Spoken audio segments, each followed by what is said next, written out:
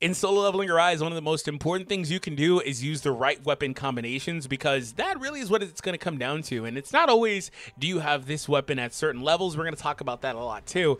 But using the right weapons versus the content you're taking on may be the make or break deciding factor. So we're going to cover the best combinations and some of the things you may or may not have considered when it comes to these weapons, whether you have them at certain limit break levels or I guess in this game they're called advances. Limit breaks is something a little bit different, but regardless, uh, you have them at the right advances uh, for the weapons weapons individually, things like that. So we're going to talk about a lot, but I hope you guys enjoy.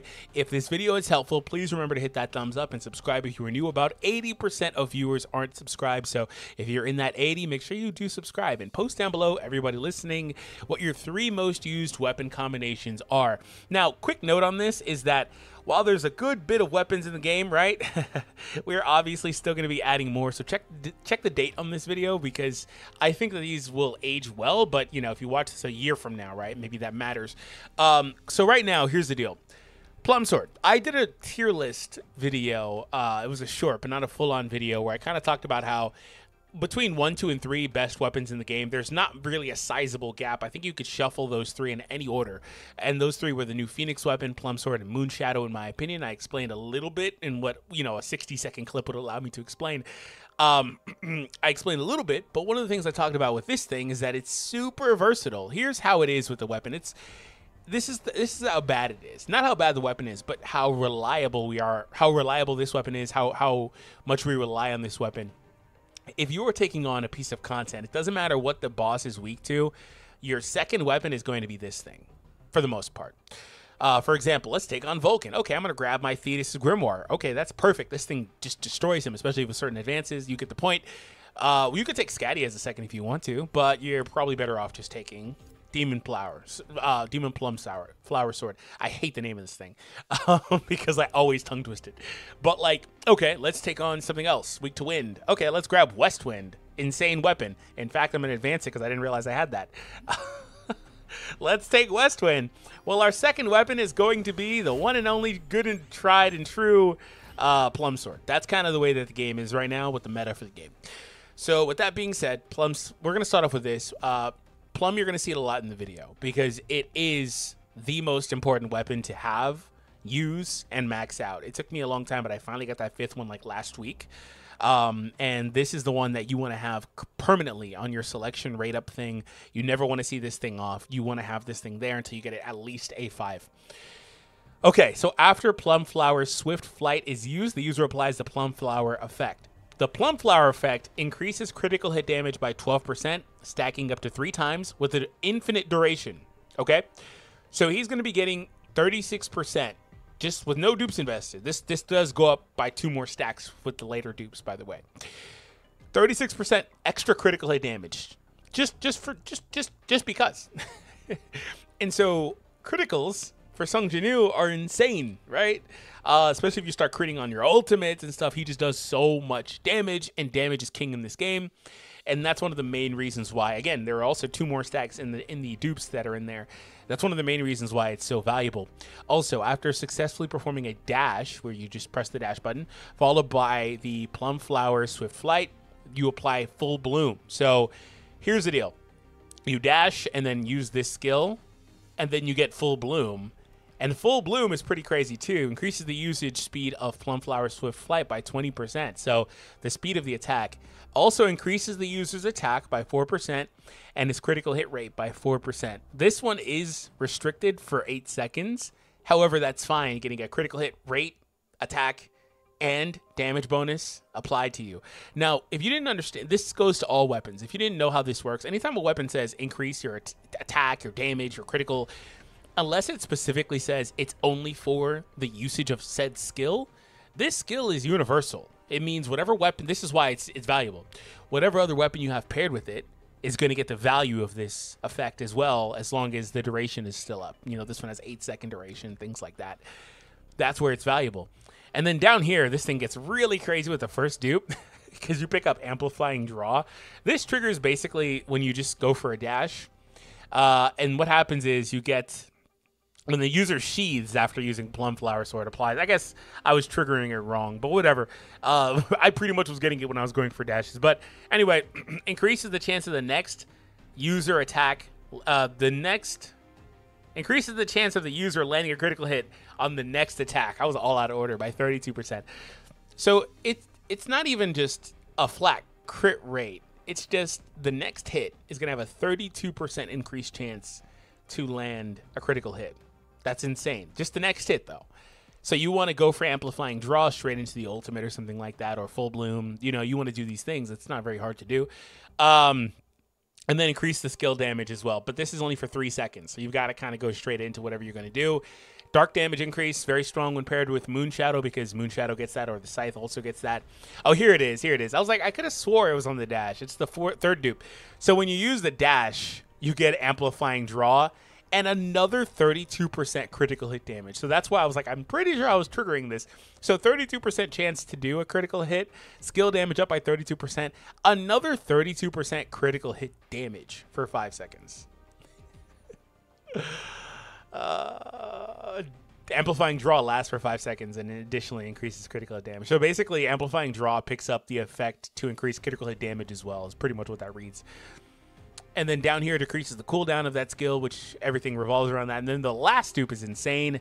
A little bit more dark damage, but you start off with two stacks automatically of Plum Flower, and you now can get five maximum. So this thing is a machine. Critical hit rate, damage, attack, all of it is in here. It's all applied for a good duration of time, some of it being infinite. Five infinite stacks of 12% extra critical damage is just crazy. So this thing is the de facto best weapon to be to be paired with something else. So I had to spend like five minutes talking about this thing because the game is it just revolves around this thing, and I can't you can't overrate this thing enough. Like you just can't. It's it's perpetually useful. Okay, so here are the best combinations. So now that you kind of understand this, even without any dupes, this is still one of the best weapons to pair with anything. So you're gonna take X other weapon and pair it with it. This thing paired with the plum sword, amazing. I really like the scythe, uh, which you can get that first dupe for free from the challenges. Uh, when you're below 70%, you get a permanent 25% critical hit rate increase as long as you're below that threshold. So there are some builds, uh, blessing stones that can really help you with this. You don't want to have a lot of healing. You don't want to have a lot of team composition doing a lot of healing. You want to stay in that range. It's funny because it will heal you later on, but hey, it's cool. that's that's when you get to 60% or below. Uh, but the critical hit rate there, coupling that with the dark damage increase in the second. Anyway, this thing just shreds. It does a lot of damage with the skill. It shreds when paired with the uh, Moon Shadow for all that crit stuff. And also, the crits are really strong on weapons that are going to do, and they pretty much all do this, but on weapons that do a lot of hits, obviously, that means more crits, more damage, blah, blah, blah. So this thing paired with Plum Sword is insane. If I didn't have Plum Sword at all, but I had this scythe, what would I pair it with? It would be Thetis' Grimoire or Moonshadow, one of those two. Uh, so let's kind of segue from here. So Plum Sword, like I said, can be, if it wasn't clear, it can be paired with any weapon in the game. Okay, so that's, and it's going to be a top end combination. Uh, so Scythe without Plum Sword, you're not getting the critical hit damage. You get more flat kind of like attack increases, stuff like that. It makes you take more damage, which is good and bad. It's good because it helps you stay in that threshold that it wants you to be in. Uh, and you also get the extra attack increase. That's a nice trade off. 15% attack is damn good. Um, that's fine, right? But then on top of that too, it decreases the skill cooldown to that fourth dupe. But when you pair this with other weapons like Moon Shadow, you get more effectiveness uh, out of it overall, especially when you have dupes in either for the extra dark damage increases. So Moon Shadow is a crazy weapon uh, that slows down time for the opponent, allowing you to get those hits in, do more damage. And then when you have more stacks here, it's pretty crazy. Where's the that first dupe right here? The first dupe on this thing is pretty crazy. Enhances the effect of full moon and lunar eclipse. Uh, stacking three times, lunar eclipse, the target's damage taken increases by 15%. Increasing their damage taken is crazy, uh, especially when paired with these other DPS based weapons. So pairing that with the scythe is a really good combination, especially because they're both dark. Where the grimoire is one of the best plugs as well. Uh, I I think you could make an argument for the grimoire being the next best like weapon to pair with anything after moon after uh, plum sword, but I think there's a huge drop off, huge drop off, insane drop off, right? So where this thing is useful is for the freeze, having its own utility, sure. But when you have cold ice effect, uh, when the effect ends, it deals additional damage to the target equal to 10% of their damage that you did during the duration of the freeze. That's good. Deep erosion is super damn strong. So it increases the damage taken by the target if they have elemental weakness. Ding, ding, ding. So if you are uh, up against an opponent that's weak, this should apply to your sub weapon as well. So, like, say this is the sub, I guess, and you're taking on uh, Igris in the story, and he's weak to, to light, so you could take Huntsman, and this should apply as well, making them take extra damage, assuming that they have uh, cold ice, deep erosion applied. Um, so there's that. So it's really good. Just just keep in mind if you're using this, for example, uh, there is a cooldown on the freezes. Like you can't freeze repeatedly, obviously, otherwise you'd be able to cheese stages. Some allies can freeze bosses, like uh, Alicia, for example. So just keep that in mind. Like if you're versus Vulcan, for example.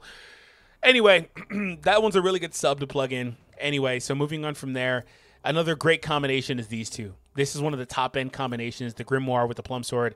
This one capitalizes more on the Plum Sword being a insane damage dealer as well. Uh, but the Plum can also bring out the best of the Grimoire because the Grimoire also can do a crap ton of damage too. Uh, the thing with this thing is that like when you have them in deep erosion cold ice, it just does a lot of damage. it does a lot. Also, this fifth dupe is crazy. Increases damage dealt to frozen targets. Good lord, this thing is insane with five dupes. All right, next combination that we're going to talk about is none other than Westwind. So Westwind is arguably the best weapon in the game. Uh, I have not gotten to the point where I've mastered this weapon. I've well, to be fair, I don't go out of my way to use it but it's one of those weapons that has an insane amount of damage. It's actually been nerfed. It was nerfed on global launch, so early access. We got to you could go back and find videos of it from early access, and it's just doing millions and millions and millions of damage. It was crazy until they had to nerf it. But this thing is still really, really strong with all the stacking it does, all the damage it does with the bullets and the charging. Anything kind of charging in this game has a really high damage cap. I've seen even like skills with Sung New, they have a really high damage cap. So this one is going to pair really well with this one, obviously, like I brought up earlier Now, at that point, you can again plug it with uh, Thetis's Grimoire. And then also another decent choice to plug with any weapon really is going to be the Shadow Scythe because of the crit rate increase as well for the record. Last thing I'd kind of say is if you want to kind of keep things synergistic, if you've got the dupes on this thing and you want more flat wind damage and attack, this thing is a really solid one to plug.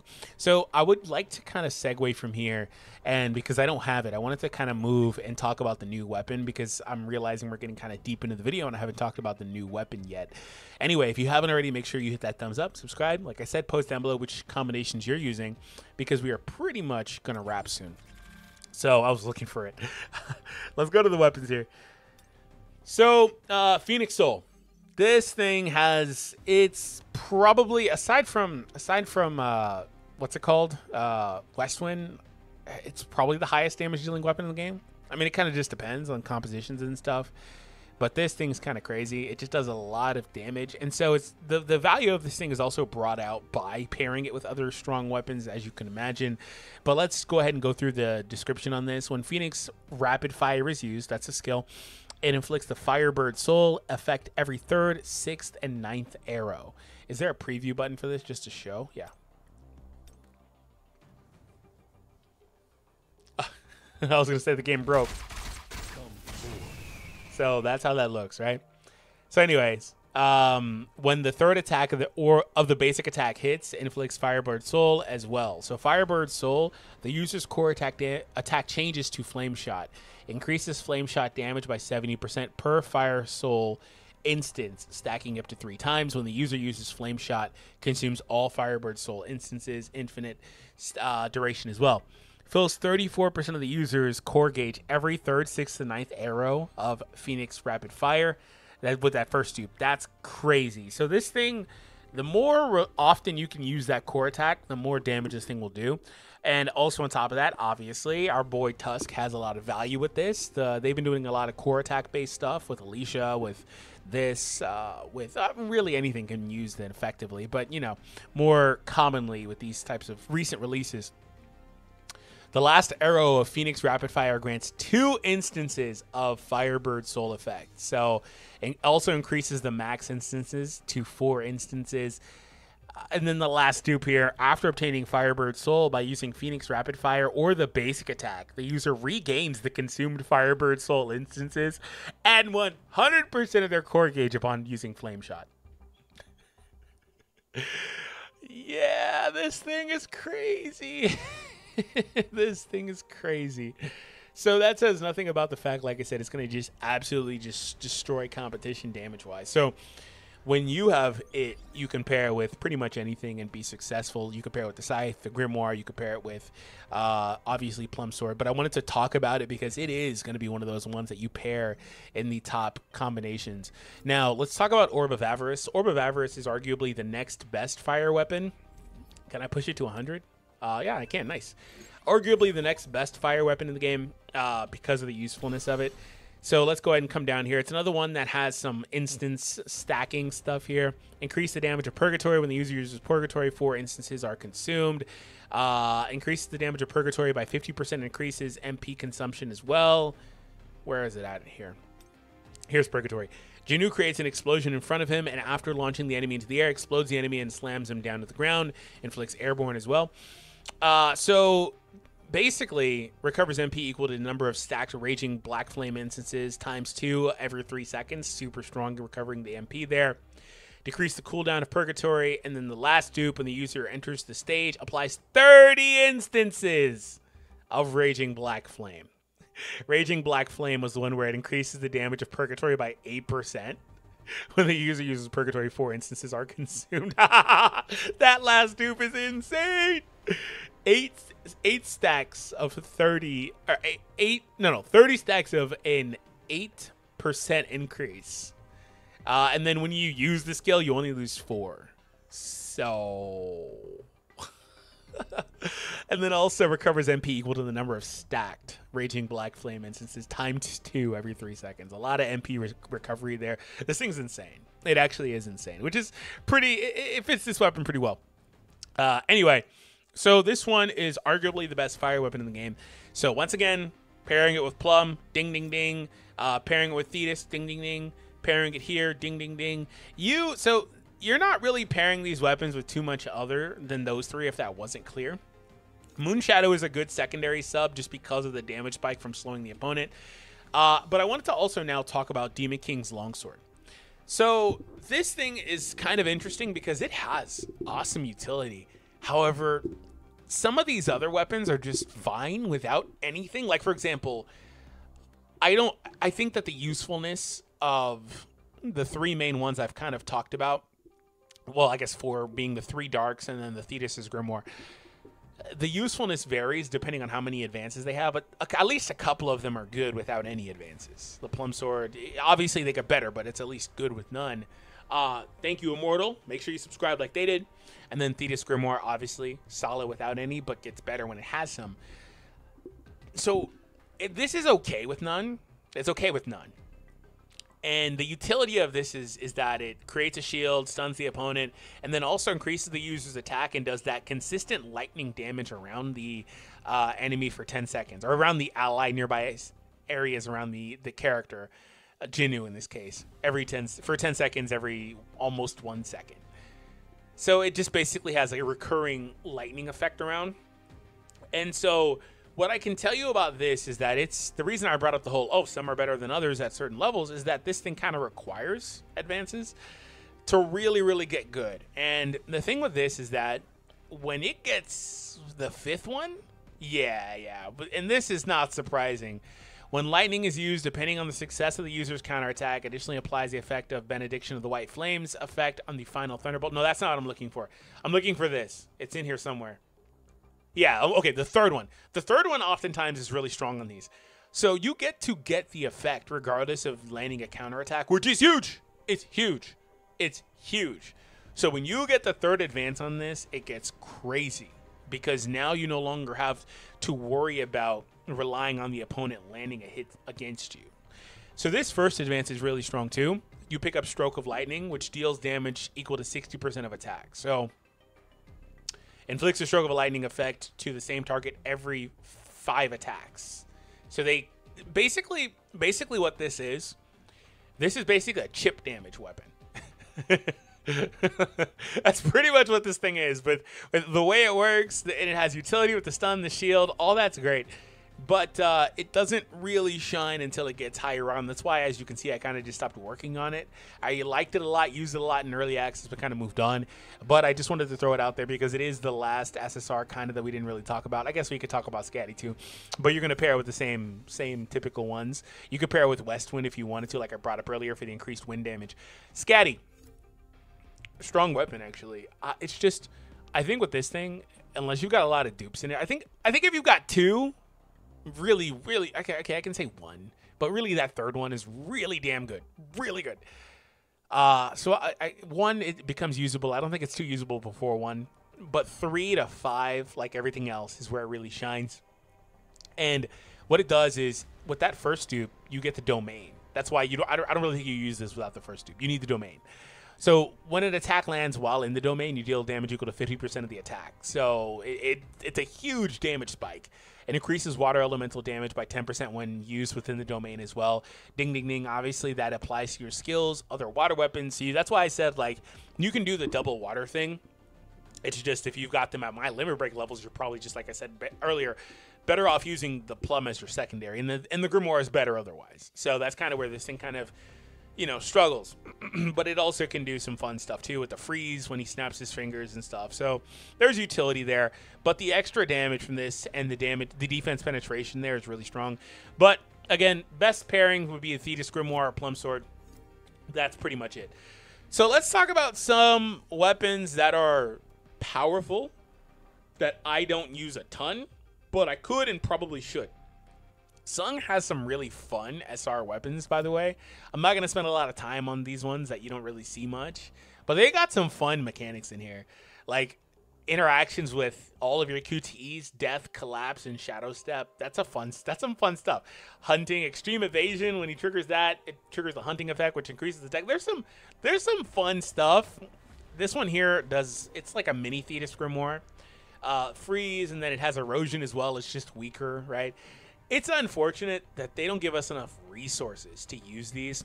By the way, quick note there is going to be a mechanic, there was a data mine for it a while ago, that allows you to make these SRs into SSRs. And obviously, at that point, they'll be more useful. So we'll see. But there's some fun stuff here. I like this thing surprise attack, increases critical hit rate. Uh, this is one that I think works well with the shadow step, right? So, anyway, not gonna not gonna talk about this too much. The only other one I'll bring up is the Casca Venom thing because it does have bleed, right? So let's talk about uh, increases the user's defense penetration by 2.4, decay, uh, deals damage equal to 40% of attack per instance, increases fire damage, applies a shield equal to 15% of the user's max HP. Um, let's talk about the Dark Element. Vulcan's Rage. I I don't know what they're kind of doing with this thing. This thing needs like 10 buffs. I, but it is unique because it increases attack speed, which is not really a thing. It gives a shield, and then when the shield is up, the damage of the attack is increased. Like this, it this this on paper should be better than it is. It even has interactions with core attacks which is really strong, obviously, given the core attack meta we're moving into. So it, in theory, should pair well with the Phoenix weapon too, anyway. So it's just one of those fun weapons here that uh, you know probably should be better than it is. So let's talk about the bow here. This is arguably the best light weapon in the game. I actually, I guess we didn't talk about Huntsman much either. I actually cope for Huntsman. I like Huntsman a lot. The problem with Huntsman, and again, pairing it with the same stuff, it's very simple who to pair with. The problem with Huntsman is the condition for landing destroy kind of sucks. But uh, that other than that, I like it. I like it a lot. And then it requires that first dupe also. So it, it's another one that's not really usable without that. But when it gets that first one, it gets Sunder and Destroy and stuff, and it gets really strong. Uh, but the bow here, really, really crazy. Every time uh, the arrow of flashing light penetrates the target, increases the user's damage as well, stacking up to 20 times. Ding, ding, ding. Increases light damage. Ignores the opponent's defense when using Flash of Light. The effect of Flash of Light changes to where now it stuns. Decreases cooldown. Increases damage of all attacks by 25% to stunned targets. So if it wasn't clear, this thing stuns, makes you do more damage versus stun targets, has a defense uh, decrease in cooldown, uh, but also hits through defense while also increasing attack. This thing is, uh, I don't know, damn good. damn good, right? it's very strong. In fact, I should use it more, but like I said, I cope for Huntsman. so this is one of those like peel their life off weapons where if you are using this thing, you could pair with nearly anything and be successful because it itself is the damage carry and it will just absolutely rip them apart. However, I'll also say when it's when it comes to uh, these effects, like right here, when using flashing light, ignoring different uh, defense, obviously that's not going to happen outside of that. Doesn't matter what you're doing. Like as if you're using this as a sub weapon, for example, the value isn't as insane as a plum sword, but it's still strong, right? Increases the user's damage by four percent, stacking up to twenty times. But you do have to use flash of light for the record to trigger that, which is this skill, uh, which is why that fourth dupe is strong. But I mean, it's an SR weapon. At least it's not an SSR weapon.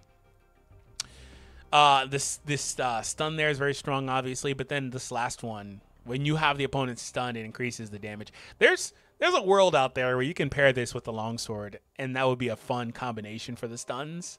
You could even you could you know what I just thought thought of? You could do some nasty cheesing with this, the longsword, and uh, some of those stunning counter skills versus versus a job rank quest. Like you could you could do some nasty utility with that.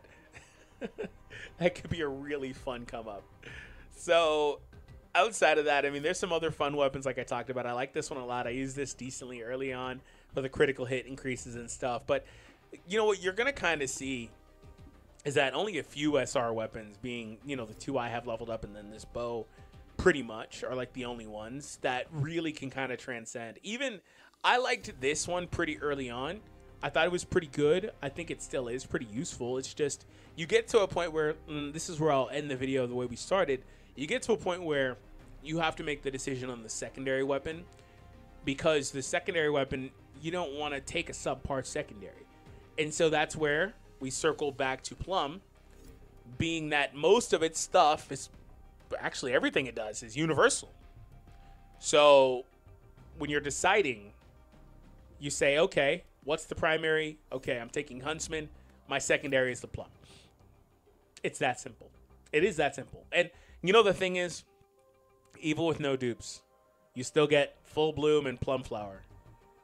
Three stacks of critical damages. It, that that's not matched by anything else here.